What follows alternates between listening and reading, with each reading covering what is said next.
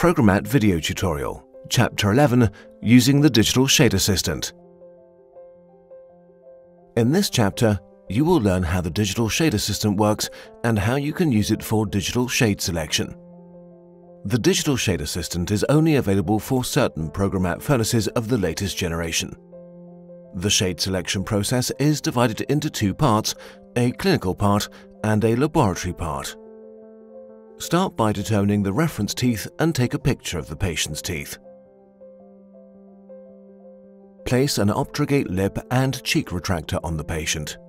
This way, you can obtain a better view of the patient's tooth necks and eliminate shades on the incisors. Optrogate facilitates the shade selection process. To determine the shade, make sure the teeth are moist and not dehydrated. Now identify the three sample teeth on the shade guide that are closest to the natural tooth shade of the patient. The Digital Shade Assistant, short DSA, is suitable for both the lower and upper teeth. The DSA is compatible with various shade guides from Ivoclar. Please see the instructions for use for detailed information. Place the three shade guide teeth into the DSA holder with the tooth necks pointing away from the holder. At this point, it may be useful to get the assistance of a second person. Proceed as follows. Hold the three reference teeth as closely to the tooth in question as possible. Position the teeth on the same plane if possible. Avoid light reflections on the teeth. Be sure to include all the required details on your image, mouth, reference teeth, the designations on the tabs of the shade guide teeth, and the markings in the top corners of the DSA holder should be at the center of the image and seen as clearly as possible. Now you can take your pictures. The quality of the photographs will affect the accuracy of the DSA analysis. Preferably use autofocus, macro function, and no flash to take the picture. Generally, you can use any popular digital camera or high-quality smartphone camera to shoot the images. Depending on the brand and type of camera, there will be differences in the images.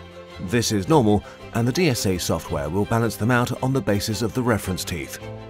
Now you can forward your digital photographs as a JPEG to the user of the Programat furnace either by email, USB flash drive, or SD memory card press the Digital Shade Assistant key on the membrane-sealed keypad of the furnace. There are several options to transfer the photographs to the furnace.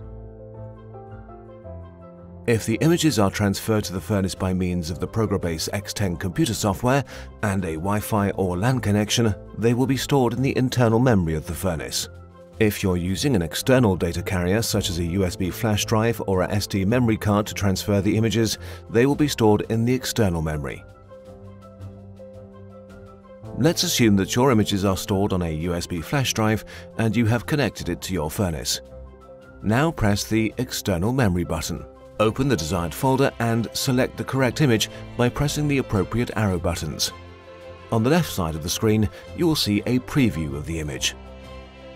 Press the green button to start the analysis of the image. The image is now being analyzed. If the software does not automatically read the designations of the reference teeth, you can select them manually.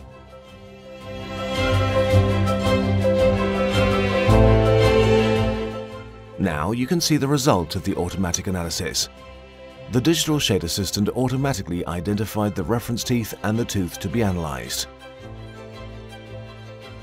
The black rectangles demarcate the area on the reference teeth that were analyzed. The blue rectangle indicates the area that was analyzed on the patient's tooth. Next to the blue rectangle, the shade of the reference tooth that is closest to the shade measured on the patient's tooth is shown. Press the manual button to change the area to be analyzed by moving the position of the blue rectangle. You can change the area to be analyzed from dentin, tooth neck, and incisal edge by pressing the button repeatedly. On the right side of the screen, you can see two diagrams. The diagram on the left shows the level of brightness of the three reference teeth and the analyzed tooth. The diagram on the right shows the saturation of the reference teeth and the analyzed tooth. If the difference between the tooth in question and the reference teeth is too wide, an error message will be displayed. If necessary, you can analyze your areas any number of times. Use the arrow keys to toggle between automatic analysis and the last manual analysis. You can change or move the sections on the images using your finger.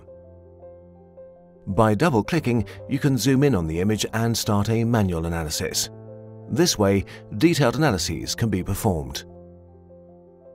To see an image in full screen mode, press the full screen key. For further information, please see the operating instructions of the furnace or the supplementary information for the Digital Shade Assistant.